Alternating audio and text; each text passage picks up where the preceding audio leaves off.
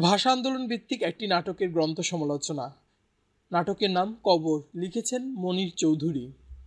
পড়ছি শিকড় বিসিএস গ্রন্থ সমালোচনা থেকে আমি মোহাম্মদ তানজিন সরকার। মনির চৌধুরীর রক্তাক্ত প্রান্তর চিঠি প্রভৃতি নাটক বিশেষ সাফল্য লাভ করলেও জনমানুষের কাছে ব্যাপক গ্রহণযোগ্যতা ও প্রশংসা পেয়েছে কবর নাটকটি। বিষয়, ভাবনা, পরিবেশন শৈলীর কারণেই সম্ভবত এটির প্রচার ও প্রসার অসামান্য। কবর গভীর জীবনবোধের আলোকে সজ্জিত নাটক। এ ধরনের নাটক অপেক্ষাকৃত আধুনিক কালের সৃষ্টি।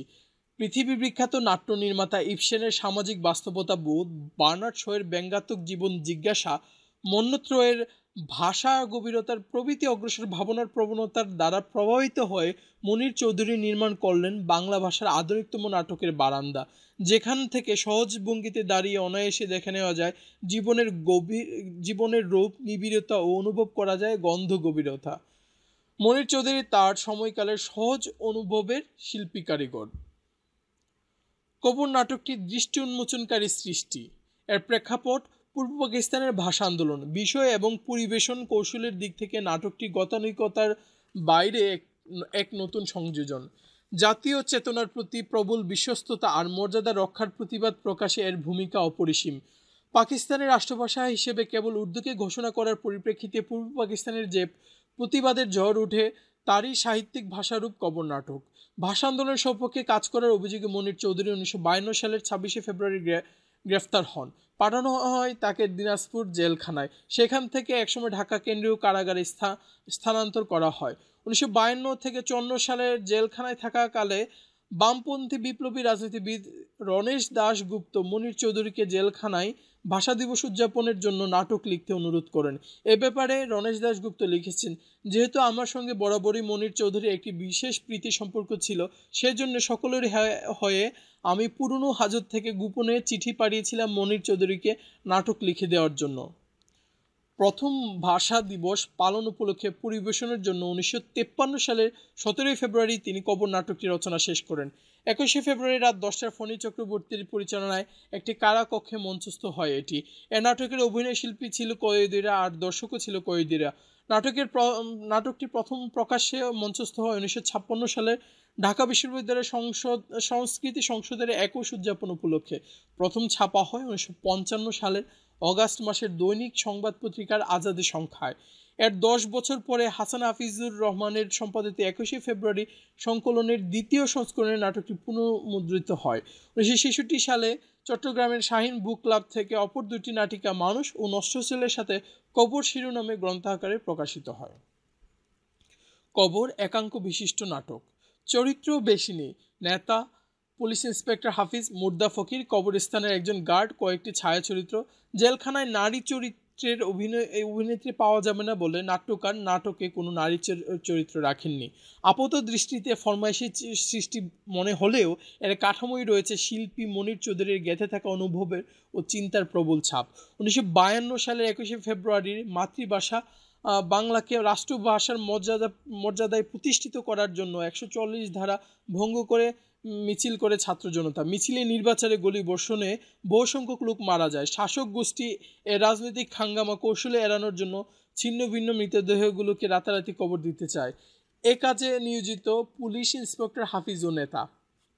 কবরস্থানের জীবন্ত বাসিন্দা মুর্দা ফকির লাশের কথা জেনে যাবে, ভেবে রাজনৈতিক নেতা ভয় পেলে ইন্সপেক্টর তাকে আশ্বস্ত করে এই বলে, মুর্দা ফকির ঝড়ও বুঝে না, আগুনও বুঝে না। ও তো একরকম কবরের বাসিন্দা। ভাষার দাবিতে মিছিলে বেরিয়ে বেরিয়েছিল বলে পুলিশ গুলি করে কয়েকটাকে খতম করে দিয়েছে। এত কথা বোঝার মতো গান বুদ্ধি ওর নেই, তা বলল হাফিজ। ইসলাম ধর্মের রীতিবিরোধী বলে গোরখুরেরা আপত্তি তুলে আর বারোদের গন্ধ থাকায় এ লাশ করে কবরে দেওয়া হবে না বলে মত দেয় মুর্দা ফকির। মুর্দা ফকির বলে এ লাশের গন্ধ অন্যরকম, ওষুধের গ্যাসের বারোদের গন্ধ।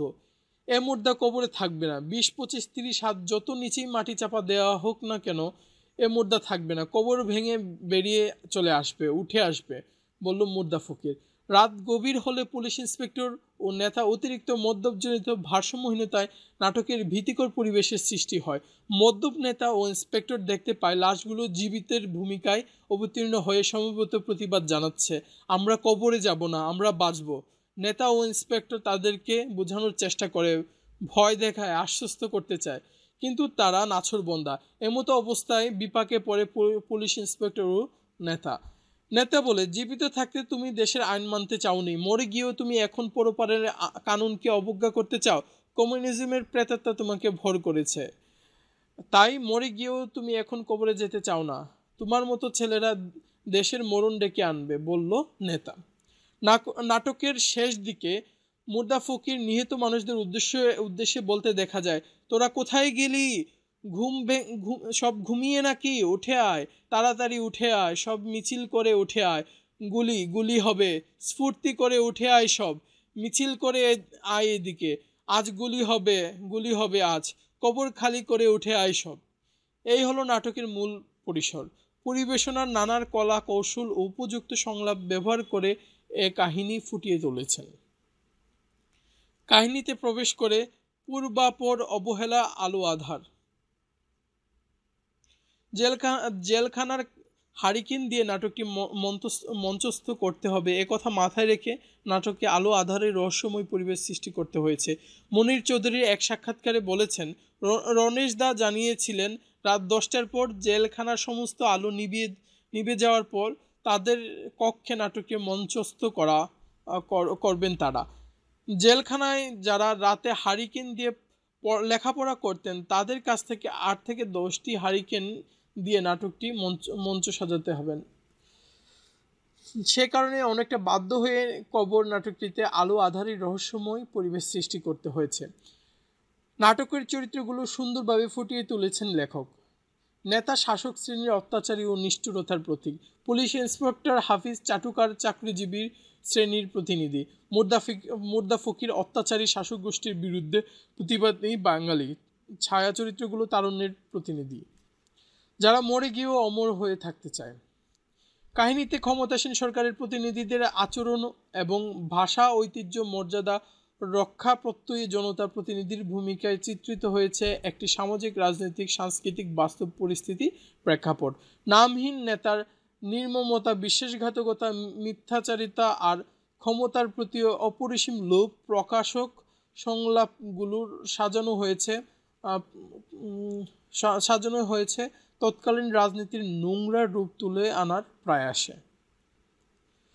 নাট্যকার এ নাটকের মানবতাবাদী ভাবনার প্রকাশ দেখাতে চেয়েছেন। পরাক্রমশালী রাজনীতির দূরত্ব ও দৌরাত্ম ও অসহায় এবং আদর্শবাদী চিন্তাধারার মহত্ব রচিত হয়েছে নাটকটির সংলাপের চমৎকারিত্ব অভিজাত্য।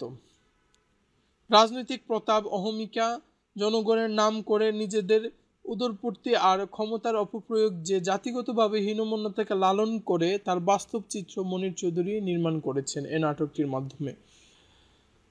সংলাপ নাটকের প্রাণস্বরূপ। মনির চৌধুরী কব্বর নাটকের অসম্ভব পরমাঙ্গতায় সংলাপ ব্যবহার করেছেন। বিশেষত নাটকের বিষয়বস্তুর সাথে সঙ্গতি রেখেই সামর্থ্যবান শব্দের সংলাপ প্রয়োগ করা হয়েছে। ফলে সাধারণ মানুষ থেকে শুরু করে বোদ্ধা মহলেও দৃষ্টি আকর্ষণ আকর্ষণ করেছে নাটকটি। বিশেষত মোর্দা ফকির ও নেতাদের কথাবার্তার মধ্য দিয়ে ভাষা আন্দোলন, রাজনীতি ও শোষণের অনেকটাই স্পষ্ট হয়ে উঠেছে। কবর নাটকের সংলাপগুলোর মধ্যে মনির চৌধুরী দেখিয়েছেন কীভাবে শব্দা চাতুর্যের মাধ্যমে অসঙ্গতি তুলে ধরা যায়। এ সম্পর্কে ডক্টর আনিসুজ্জামান তার মনির চৌধুরী তার মনির চৌধুরী তার নাটক, মনির চৌধুরী তার নাটক প্রবন্ধে বলেছেন, রাজনৈতিক চেতনার এমন এমন কলমিত কলমিত রূপ আমাদের সাহিত্যে কমই দেখা যায়। কারাগারের গোপনে অভিনয়ের অভিপ্রায়ে এটি রচিত। কাজে মঞ্চের উপকরণ শোচনীয় সীমাবদ্ধতা মেনে নিয়েই তাকে নাটকটি লিখতে হয়েছিল।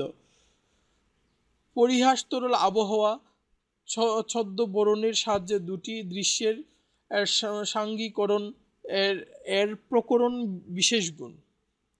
সেখানে এবং মুর্দা ফকিরের বৃত্তান্তে মনির চৌধুরীর রাষ্ট্রীয় ভাষার আন্দোলনকে অতিক্রম করে আমাদের সামাজিক জীবনের বৃহত্তর দ্বন্দ্বের দিকে আঙ্গুলি সংকেত করেছেন। সংলাপের সরসতা ও নাটকীয়তা খুবই উদ্দীপক। কবু নাটকে লেখক রূপক আকারের আশ্রয় নিয়েছেন। লাশগুলোর জীবিত ভূমিকায় অবতীর্ণ হয়ে কবরে না যাওয়ার না যাওয়ার ঘটনাটি রূপক। এর মাধ্যমে লেখক বোঝাতে চেয়েছেন, ভাষার জন্য যারা প্রাণ দিয়েছেন তারা মৃত নয়, তারা মরেও অমর। বর্তমানের দিকে লক্ষ্য করলে এর যথা যথার্থতা পাওয়া যায়। ভাষা দিবস ও আন্তর্জাতিক মাতৃভাষা দিবস। ভাষা ভাষা শহীদ দিবসের নাম সারা বিশ্বে উচ্চারিত হয়।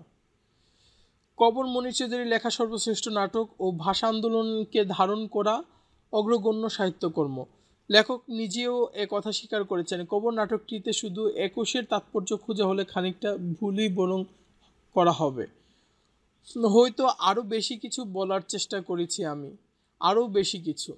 নিঃসন্দেহে এটি আমার দৃষ্টি উন্মোচনকারী শ্রেষ্ঠ লেখা। কবর নাটকের মূল্যায়ন করতে গিয়ে নাট্য ব্যক্তিত্ব রামেন্দ্র মজুমদার বলেন, বাংলাদেশের প্রথম প্রতিবাদী রাজনৈতিক নাটক কবর। কবরের হাত ধরে পরবর্তীকালে বাংলাদেশের অদ্ভুতের পর রচিত ও প্রযোজিত হয়েছে অনেক প্রতিবাদী নাটক। ধন্যবাদ সবাইকে।